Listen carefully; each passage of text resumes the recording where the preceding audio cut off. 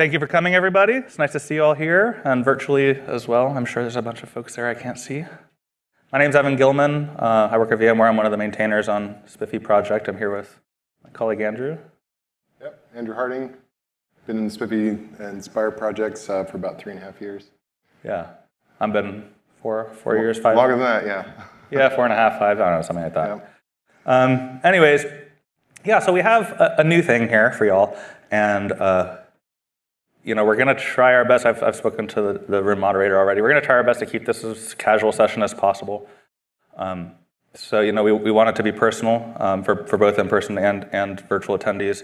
Um, if you have any questions along the way, um, anything like that, please feel free to raise your hand. Um, you know, we'll stop, we'll talk, uh, that kind of stuff. Um, we're also, we've, we're, we've also doing a little bit different presentation uh, for you today, both in terms of, of material, so you'll see some stuff here you probably have never seen um, with regards to SPIFFE. and uh, we also like, like uh, purposefully did not practice this because we wanted to feel natural and, and, and um, personal. So we hope that, that you enjoy it as much as we do, and uh, apologies in advance if that doesn't work out, but we're gonna see, gonna see what happens. Um, you wanna do the agenda?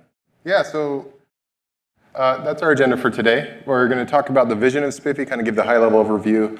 Um, you know, so the, the experience level of the audience, the attendees is, is probably gonna be varied. So we're gonna give, a, give you know, an overview of the SPIFFE vision, what it's, what it's around for, like what it's trying to solve where it fits in into like other technology stacks and, and uh, you know, the, it's, it's, it's a part of the puzzle. Where does it fit in inside that puzzle and what other pieces are generally involved? Uh, we're going to give a, an overview of the different points of the, of the SPIFFE specification, um, including like a, a, deep dive into the SPIFFE ID and trust domains and federation, and then we're going to kind of recap on the uh, you know whole picture, the whole the whole SPIFFE surface and what it brings to the table.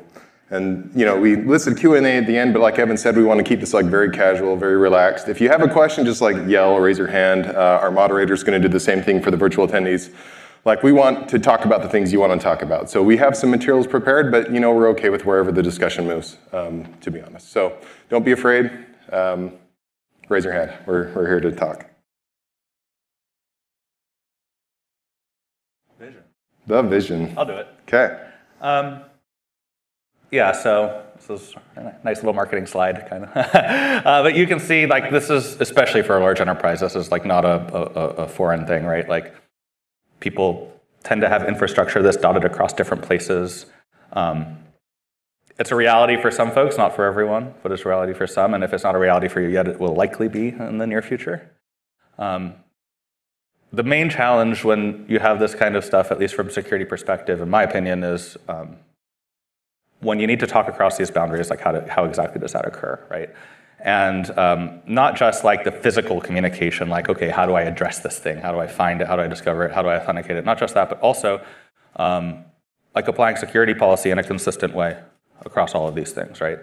Um, it can be very difficult because each one of these things on this slide has its own idea about what policy looks like, what language is used, um, its own idea about identity, how, how things are addressed um, its own idea about authentication, how, how you do auth against these platforms, um, all of these things. And so, you know, I, I have lived personally in this world um, in pre-SPIFFE days, right? And, and, I wrote a lot of software that did like translation of identity, um, brokering access between these things, uh, a lot of abstraction to try to solve this problem um, of, of talking across different pieces of infrastructure running in different providers and maybe with different runtimes or different software platforms and things like this. Everyone has got their own idea of how to solve this problem. And so SPIFFE is, is, is, is an attempt to say, hey, like, let's, let's do a scheme that is platform agnostic. Let's do a scheme that, that is not like anchored to a particular technology or a particular provider. Um, and if we can do this, uh, just provide a stable notion of identity a way to, to prove identity across these boundaries, right? All of a sudden, um, everything above it starts to stabilize too. Uh, so that security policy we're talking about starts to stabilize because you have this stable identifier that you can reference, and you can have this policy go across multiple platforms without having to change or munge it uh, to be specific to one place or another. Um, you also find other things like uh, tracing, observability, debugging, all these kinds of things stabilize. As soon as you have like a call stack that traverses these platforms, you know, uh, how do you identify each one of those service hops and threads? Um, so you, once you have this kind of notion of stable platform agnostic identifier, um, what you find is a lot of other things start to get easier um, as you jump across these, these different uh, verticals. So, um, you know, and, and, we, will talk about the SPIFFE specification step. We'll get down in the details. Um, ultimately, like Evan mentioned, what it provides you is kind of like this uniform identity substrate. And you're going to get a cryptographically verifiable document. And that's that's what SPIFFE brings you. It brings you the document, but it's up to you at that point, once you have that cryptographically verifiable document, to present that in some way to another party to assert your identity and, and allow them you know, to authenticate you and, and hopefully you authenticate them in return. Um, so SPIFFE is just like one small piece of this puzzle. We bring the authentication layer, we bring the identity layer to, to, uh, to, the, to the puzzle. And you know, there's things that you have to do on top of that. You have to actually use that identity. So sometimes you'll have workloads that are SPIFFE aware. Those can talk directly to the SPIFFE workload API and obtain their materials, and then you know, they themselves will engage in you know, mutual TLS, for example, uh, to establish that authenticated secure channel to another workload. Um, or in your control plane, you might decide to, to offload that TLS um, connectivity to uh, you know, a proxy sidecar like Envoy or Ghostunnel or whatever. You know, and so we'll bring the authentication with SPIFFE. You need to actually use those documents and do, do the secure connections in between workloads. Um, you can layer authorization on top of that, whether that's with OPA or with something else, right? Um, you know, you can, you can uh, bring on protocols like gRPC, you know, the right on top of that TLS channel, you know, and, and do secure workload uh, communications that way. Um, but yeah, it's, it's up to you, and there's a lot of flexibility in, in what you end up doing with the identity you receive from a, from a SPIFFE implementation. I, I would just quickly add to um, really, kind of really important part uh, on this that is, is we get a questions about often is authorization in particular. Um, the SPIFFE project calls authorization kind of out of scope for what we're doing, right? What we are doing is we're providing this kind of stable uniform identity that then you can build authorization on top of, right? So it is a whole other problem space that is very, very deep in its own right. Um, it is not something that we attempt to solve in any way, really. Um, and so you bring that to the table with either OPA or, or even something simple like you know built-in allow lists in your app or, or what have you, right? But um, you know, as, as Andrew was mentioning, like what we can do is we can, we can bring you these identities, we can bring you them in a very secure way, and we can show you, uh, make some recommendations on how you can use them and, and, and ways to think about them. Uh, but at the end, it, it is up to you to make use of these primitives and, and build something, right? We've got a question from the platform. Uh, what does SPIFFE aim to identify? I'm sorry, can you repeat that? What does SPIFFE aim to identify? What does SPIFFE mean to identify? aim to identify? That's a very good question. Um, we have a, a, a, bit of a slide on this, but not exactly, so I'll just say quickly now. Um, SPIFFE aims to identify what we call a workload, right? Um, so SPIFFE is like cryptographic identity for workloads. Uh, what is a workload? And, I, you know, it's, it's a bit of an overloaded term and an overloaded question as well. Um, you know, I think different different people and different shops have different requirements for that. The most common thing that we see is we see SPIFFE identify like on the service, right? So um, if you could think that I have a Kubernetes cluster and there's a deployment and there's you know five pods servicing this deployment, um, you know the typical pattern that we'll see is like a SPIFFE ID will be assigned to that deployment and the pods within that deployment will all receive the same SPIFFE ID. Um, this makes authorization easier, uh, makes a number of other things easier. It's also kind of the mental model that most people follow. Um, there are folks who don't want to do that. There are folks who say, I want every individual pod to receive a unique identity. They do this for auditing and observability purposes, forensics, things like that. Um, but it does make things a little bit more complicated. Uh, so I, I, hope, I, hope, that answered the question. What we aim to identify is we aim to identify workloads. However, however um, you view that, and we have some later slides talking about um, ways that you may, like naming conventions and ways that you may arrange this based on what you're, what you're trying to address.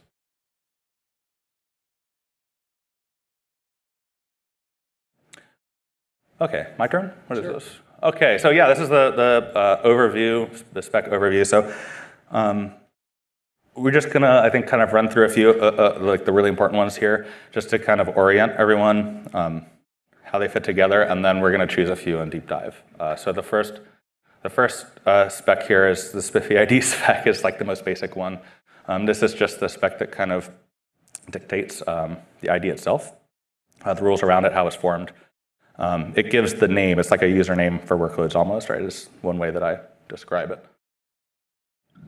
You do the next one. And then uh, there's the SVID. The SVID, it stands for SPIFFE Verifiable Identity Document.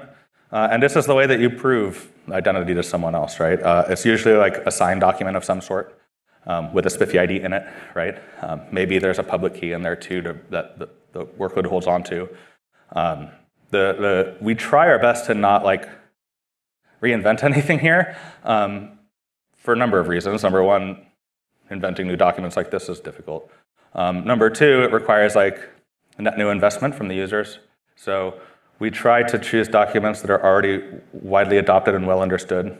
Um, work as much as we can with off-the-shelf software and things like that. Uh, so the two supported SVID types we have right now uh, is X509 and JWT. And uh, you know, I, I, don't know how many people are familiar with these two things, but X509 is generally useful for, for TLS, powering TLS. Um, JWT is generally useful for securing the message layer, layer 7. Um, and, and, you, and you use them in different places, which is why we support both. You, you may even use them together, in fact. Um, we go on the next one. And we have the workload API. Um, so, you know, we have this ID, this username. Then we have this document that has the name in it, and there's a signature over it. Um, well, that's cool. All my workloads are supposed to get one of the things. How do they get it? Um, so that's, that's what the workload API is all about. It's an a, a API um, that is like a node local API. Uh, and this API is actually unauthenticated. And this is like a super critical aspect of it because what that does is it allows a workload to pop up without having any prior injected secret or token or anything else. This workload can kind of pop up and say, here I am. Uh, and the SPIFFE magic will kind of figure out, okay, I know who you are. Here's your SPIFFE ID. You know, you're off to the races. Um, let's see, what else about the workload API? Uh, so I guess the, the main reason that we have a thing like this, right? People ask, um, you know, why don't you just put them on disk? Or why, like, why have this API and all this jazz? Um, and I think there's two uh, primary reasons for that. The, the first is around um, structure and rotation and control. Um, so, you know, what we provide over this workload API is we provide you your SVID. Uh, we may provide private key associated with those SVIDs, like the case of X509, right? Um, we also provide the CA certs that are keys and key material that is needed to validate other SVIDs. Um, and, there, and that key, there may be multiple keys if you're talking about multiple domains and things like this. And so if you want to put them on disk, it gets complicated because now you're into the world of like ad hoc naming and what, you know, how, how, do you name the files? How do you group these things together? Is there a directory? Is there this? What happens when you want to rotate them? These things uh, rotate all, including uh, root CAs all rotate. Um, and if you've ever worked with epoll or anything like that, you'll know pain there. Uh, so that's, that's one big thing. And, and because of this, a workload API is also push. So we can like rotate our root and push that, push that update out to all the workloads, and like we can accomplish that pretty quickly. Um, so that's a, that's a big part of it. Another part of it is uh, portability. So the whole SPIFFE thing is supposed to be platform agnostic, right? Um, if we tie this, the retrieval of these SVIDs to a platform-specific API, like a Kubernetes API or something like that, then all of a sudden you lose this portability that we're trying to build in the first place, right? Um, so the portability is, is another major, major aspect of, of this spec. Do you want to do the rest? I've been talking a lot. Okay.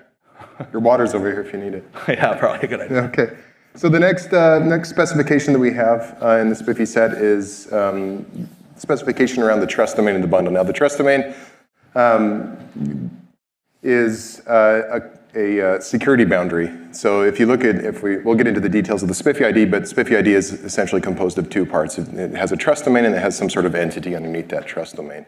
And the idea is that a trust domain itself is um, this cryptographic boundary with a set of unique signing authorities within it for issuing the identities from that trust domain. And so we have a specification around like, you know, what does a trust domain name look like? Like what, uh, you know, what sort, what is this, the bundle that contains all the root material and the, and the public keys for that trust domain for the signing authorities within that trust domain? Like, what does that look like and how is that shaped?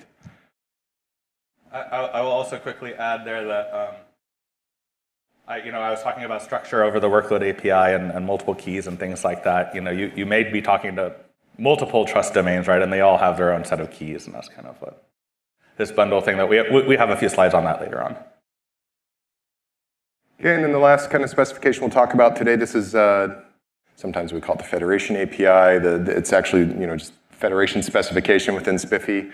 Um, and, and that defines what we call the bundle endpoint. And this is an endpoint that um, a party can talk to to obtain the SPIFFE bundle for a given trust domain. And this is to empower federation, right? So you can get um, you know, multiple trust domains obtaining the SPIFFE bundles for each other, and then they're able to authenticate the identities that are minted in, in, you know, in the other trust domain. Um, so we, this is a, a pretty basic specification. Um, we'll get into the details of, of that later. Um, but it's, yeah, it's not, not anything super complicated. It's basically just an HTTP endpoint, HTTPS endpoint. It's got to be authenticated, must be authenticated, that you can talk to to get this bundle material. So this specification is all about like, you know, um, what are the different profiles for connecting to these endpoints and, and how do you deal with the responses and, and things like that. So I'll take this one since I already kind of talked about it already. this is your SPIFFE ID, right? So it's a URI. Um, it's, it's pretty much like a username except for your workload or your service. Uh, and it is scoped uh, by a trust domain. And like we talked about before, the trust domain is going to, going to be the, uh, have the set of authorities that are going to be signing um, identities you know, for that trust domain. This, um, this URI is, you know, the URI spec, I don't know if you've ever dug into it, it's ginormous, it's huge, it's, it's a mess. It's, it's bigger than it should be. Yeah, way bigger than it should be. Um, and there are some interesting uh, things that fall out of the, the, the inherent complexity of that specification. And what, so we've tried to take this URI spec and carve out a nice safe space for uh, a SPIFFE ID within that specification. Um, we did similar things for X509 and JWT. You know, we want to reuse these, these standards um, because they're prolific and they're out there and, and they're well understood. But we want to like carve out the safe spot uh, for for you know out of these standards that we you know with some some some defaults and whatnot that we feel are safe. And so one of those things is a limited character set. We don't allow the full range of expression on the characters that are allowed inside URIs. Um, but you know a SPIFFE ID is is really kind of this thing that you get you get to decide for yourself within your organization what makes sense and like what this ID should look like. Okay, so the, after you get that that SPIFFE scheme on there and you define your trust domain, after that it's it's anyone's business what you do, right? So, um, but we do have some, some guidance as we've seen people uh, craft SPIFFE IDs over the years and, and maybe take some routes.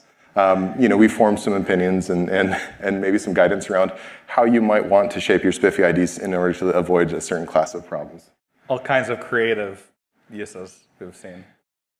I'll do this one, I guess. So, so we've got a couple of these. Um, we get a lot of questions around this, like what, how, do I how do I name things? It's like, turns out that's really hard. Uh, so I, I, would say, I thought it would be useful to, to kind of provide a couple like pro tip best practice uh, type things here. So like one of them, uh, the first one I guess is be mindful of naming. Um, people, the nice thing about SPIFFE ID is that uh, it, is, it is kind of like a, a nice middle ground of like machine and human readable. And we want to keep that aspect as much as possible. Uh, you know, in the spec itself, we have a section that is like, yeah, like the, the, the, path of this thing can be whatever you want, whatever makes sense for your org. Um, and we gave some examples of how, of how you might do it. One of those examples there just has like a GUID. It's just like the trust domain and then a GUID after that. And then, you know, the intent is, well, you can do this if you want, and you go use that GUID to look something up or whatever. Um, but you know, you lose that you lose that nice property of like it's it's readable and like I can look at it and and and like have meaning to it. You know, so all those cases I, I was talking about before around observability and things like that kind of go away um, if you if you go in that direction. Uh, so you want to kind of, of of keep it readable. You don't want to like overload it with a bunch of data. Um, what I see people do quite often is that they they say like, well, I have these policies that I'm trying to enforce, and they're like super expressive and there's like 15 different pieces of information that I need in order to like evaluate this policy, right? And so then they go off and say, okay, well, what should my naming scheme be then? I need I need 15 different things in my naming so that so that when they call me, I'm able to differentiate and do the authorization I want to do. Um, this is a like real slippery slope, and and I think that the the you will always have this idea, right? Um, you'll always have this idea that you know you're making decisions based on the shape of the SPIFFE ID, right? Not just like some opaque string. Um, but I, I, I, would strongly recommend like strike a balance with that data. Um, you know, don't don't try to overload it with a bunch of stuff that you may not need, may need, may, may not need. Um, instead, what you want to do is you want to choose like the most basic things that are going to be like super super static, like things that are not really going to change uh, much. They're like innate properties of this of this workload or thing you're trying to address, right? Um, that, that's what I would recommend to include, and, and, and you kind of draw the line there. And things that are more dynamic, uh, you'll want to put elsewhere, right? So the second pro tip is, is it's fairly aligned to that first pro tip, right? Like, um, you know, the, the spec is very open-ended and, and unspecific on how you shape your IDs on purpose because, you know, different organizations have different needs, right? Your, your different deployments. You, it needs to be really up to you on how you shape your identities. But, you know, while you're going to try and, you know, adopt what patterns work for you, you want to you want to steer clear of, like Evan mentioned, shoving a bunch of metadata in, into your SPIFFE ID, right? The, the more specific metadata you put in that SPIFFE ID and, and the more that can change, the more complicated your authorization logic becomes. You know, where you have uh, unless, you, unless you're really good at like centralizing authentication or authorization, then you have a bunch of processes like receiving these SPIFFE IDs and trying to like pluck out different parts and apply policy to these different parts. It gets very complicated. You, you, you end up getting really coupled to that auth authorization logic. And if you don't centralize it, then now you, you've got a bunch of people doing this, this, same, this same sort of logic piecemeal. And if you ever need to like change the metadata or change how this thing is structured, there's a ripple effect that takes place. And there was a talk a few days ago at Production Identity Day, you know, an organization who had uh, you know, gone down one route with their SPIFFE ID, with their naming, and they'd gone a little too complex. And when they decided to like rein that back in, it was a large amount of effort to try and like shift and migrate back to a simpler scheme, uh, which ended up being better for them in the long run, but it, it takes effort. So if you get the more specificity you like shoving these IDs, um, you know, for example, you could go hog wild and, and start throwing like network locator information inside the SPIFFE ID of, of where this workload is, not what this workload is. And if you ever go and change where that workload lives, then suddenly like the ID is changing and you gotta like update your authorization policy, et cetera. So you really wanna focus, I think, at least for me, on what the workload is, not where the workload is, or other maybe sort of tangential attributes about that workload. Yeah, and, and I, would, I, I would even add um, that, you know, in, in terms of like pattern and convention, you know, I, one of the things that we've seen is that Istio, being like very early SPIFFE adopter, um, chose naming convention that worked for them, right? And that naming convention was the, you know, slash SA slash service account value, or slash NS slash namespace value slash SA slash service account value. Um, and most people, a lot of people, I would say, have become familiar with SPIFFE through Istio, and the, the impression that has been left is like, this is the canonical way to format a SPIFFE ID, right? Um, and that's, that's really, I think, a, an important point to understand is like is not canonical way. And it doesn't mean that you cannot like borrow those patterns, you know, for one reason or another, like you absolutely can, but you should also understand that those patterns are not going to work for everyone, right? You pluck a workload out of Kubernetes and drop it somewhere else, what meaning does this convention have anymore, right? Namespace and service account. Um, so it should be understood that the convention that you choose will not apply universally. Um, it'll make, it may be good for you, but it may not be good for the next person. Uh, that means when you want to talk to the next person with SPIFFE, you're going to get an ID that is shaped totally different than the one that you're used to, right? Um, and that is that is a problem we've seen for interop, right? Like people people get this idea that like, yeah, this is the convention, right? And like I'm building all this policy on top of it. And so when a SPIFFE ID comes in, you know, I parse this sucker and I like pluck these different things out and I feed it through my policy and I make a decision, right? And then, of course, the next, as soon as somebody comes and that, that thing doesn't run through the parser correctly, things blow up, right? Um, so I, I, think I saw you there, Cole. I'll get you right in a second. Um, so that, that's like, understand that this is a thing that is not going to apply to everyone. And so when you build authorization on top of SPIFFE, you want to strive for not like trying to pluck this thing apart and make all this sense of it, right? Instead, you, you, you should really try to strive for like a straight string compare if possible. Um, it is like the safest way to do this. Uh, and, and, it is also the way that, that will ensure that like in the future you don't run into bad interop problems. Like everywhere expects this convention, but now I need to federate with a business partner. They have a totally different convention. Okay, now it's really simple for me to just say, in addition to my regular policy, also accept this explicit SPIFFE ID, right? Um, so you, you can kind of stay out of trouble if you, if you follow some of these rules. Uh, I saw a question here.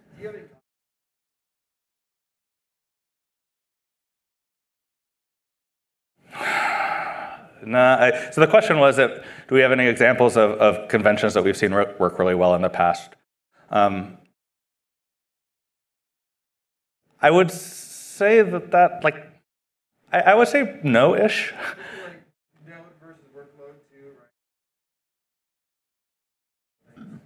Well, I think that um, addressing a node is kind of more of a spireism. Um, you know, I, I, think by far and away the most popular convention is the one that Istio set forth years back. Um, I, I, am hesitant to say that that is like the best one. It's just the most popular one. Uh, you know, and, and, and Istio has had its fair share of problems of, of communicating with workloads that are not on Kubernetes because of exactly this thing. And they have got, they have fallen in this uh, a, a very opinionated uh, naming scheme. And so we're working through that stuff to try and improve the story. There have been some lessons learned, which is exactly the nature of this slide.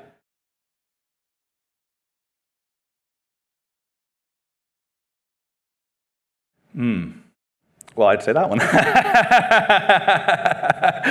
um, it's not to say that the convention is bad.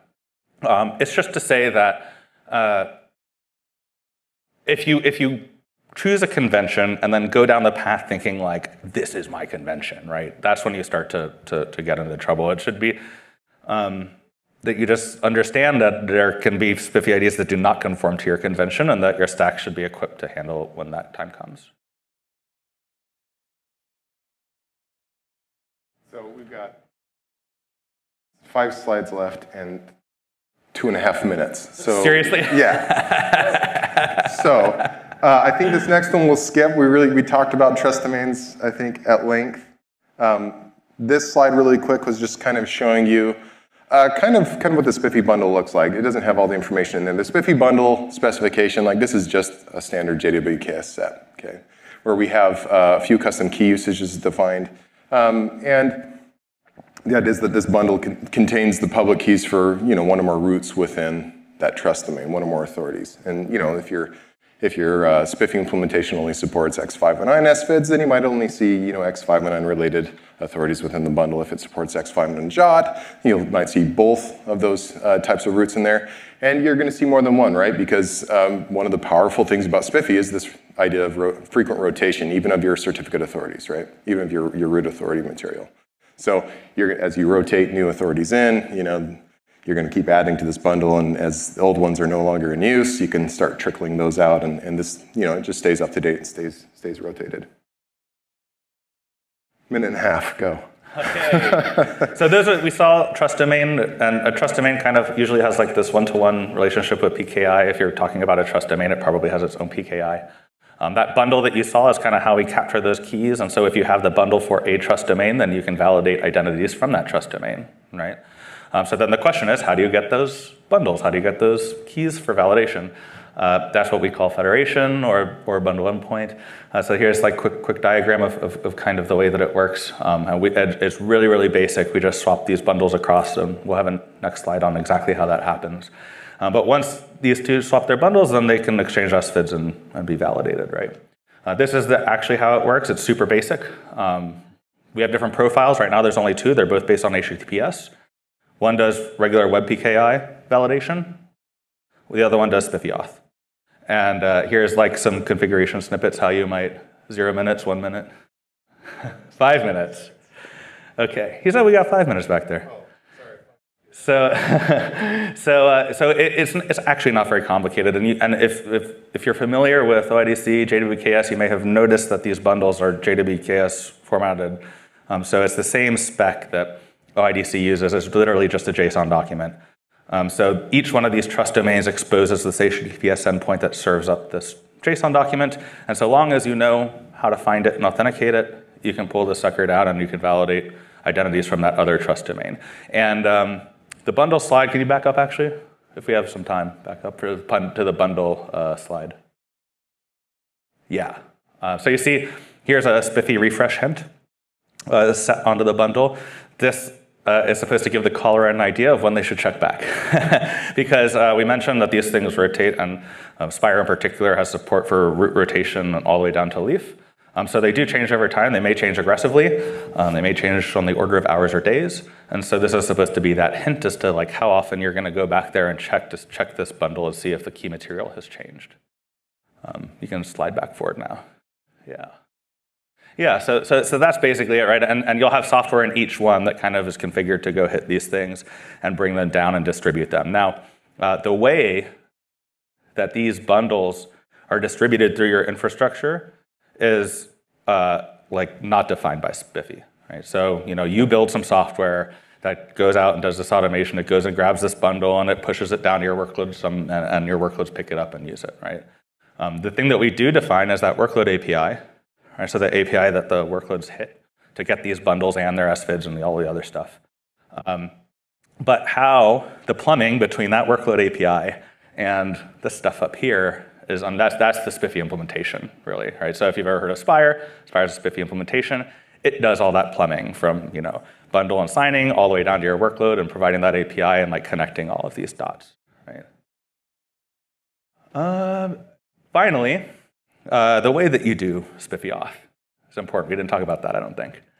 Um, so uh, when you run into one of these SVIDs, right, and you want to validate it, like the very first thing that you do is you look at the spiffy ID. There's some right here. So these are like workloads, if you will.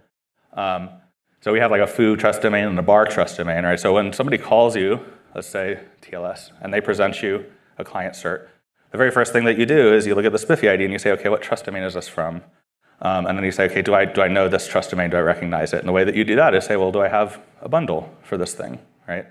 And if you do have a bundle, then you know how to authorize, uh, authenticate. And if you don't, then you're not federated and this thing is not, not going to authenticate. And so this is one thing that um, we have been kind of like pushing forward slowly because uh, that type of validation is not something that is found in a lot of places.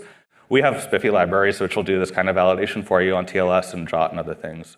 Um, but Envoy was recently grown support to do this kind of validation as well through uh, TLS um, custom validator, I believe, ex new extension. Uh, so this ex new extension uh, can actually take that SPIFFE ID, look at the trust domain name, pick the right bundle, validate it, and authenticate the connection. So that's super cool. That happened a few months back, I think, some months ago. Uh, okay, yeah, next one. All right, so this is just kind of a, a, slide giving you the, the big picture, right? So actually, I can see on this side. I'm to crowd you.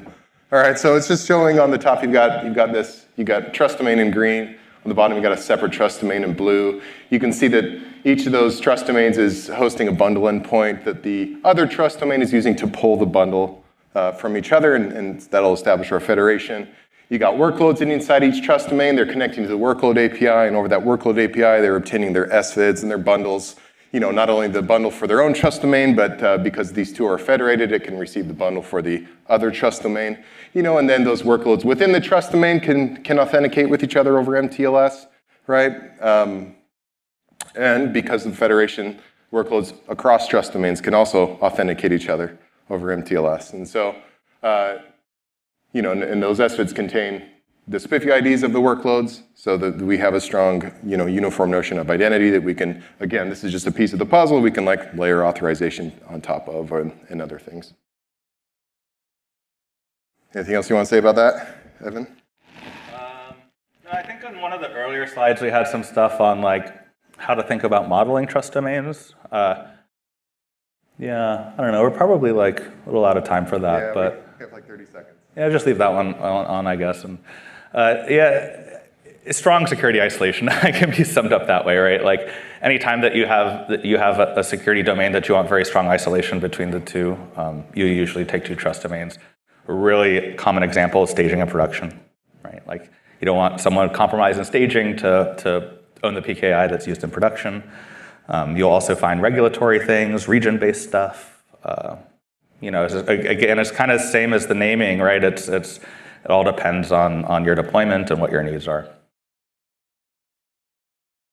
So yeah, I think that's it. You want to put up the last slide, actually? The last slide has some um, learn more stuff. Yeah, so we have website, of course, and uh, GitHub repo, and our Slack is super active. I highly recommend if you're interested, continue conversation, join us there. Uh, all maintainers hang out there, Spire developers hang out there, um, all sorts of folks. And so, yeah, we, have tried our best to, to not do any Spire talk. we're, actually both Spire maintainers as well. Um, it's sometimes difficult to wear both hats. Uh, we've tried our best to not include Spire on this talk, but we'd be happy to answer those questions as well if anyone has them. Thank you. Yeah.